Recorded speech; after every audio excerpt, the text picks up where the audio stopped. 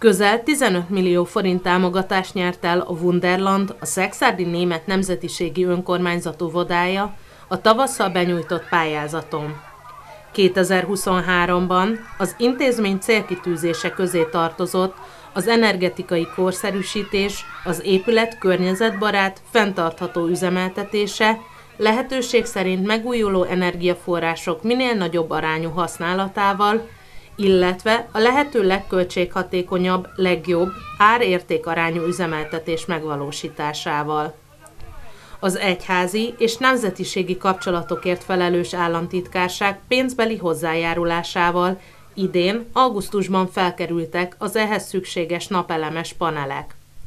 A beruházás az óvoda harmadik ütemben megvalósított energetikai korszerűsítése volt. Az intézményünknek az energiafelhasználását napelemrendszerek kiépítésével szeretnénk kiváltani, és ez a támogatásnak köszönhetően meg is valósulhatott az idén nyáron.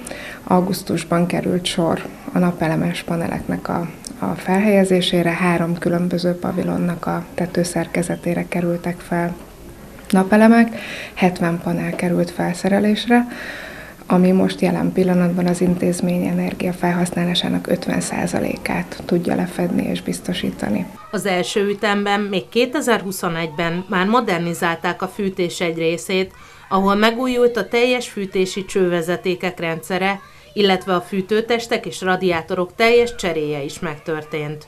A második ütemben a távfűtés hőközpontját felváltotta, a hőszivattyús fűtési rendszer, így is csökkentve az egyre magasodó rezsijárakat. Van az energiafelhasználásunk 50%-át tudjuk ezzel a napelemrendszerrel kiváltani, a többit továbbra is a szolgáltatótól vásároljuk, és a jövőre nézve ugye még, még célunk, hogy az intézménynél a teljes 100%-os lefedettség meg legyen, tehát bízom benne, hogy a következő évben is megkapjuk a támogatást a miniszterelnökségtől illetve a fenntartó német önkormányzatnak a segítségével akkor be tudjuk fejezni ezt a most már négy ütemből álló teljes energetikai korszerűsítést.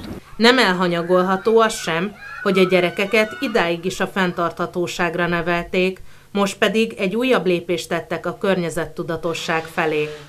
A gyerekek megújuló energiával fognak találkozni, nekik már később természetes lesz a környezetünk védelme és megóvása.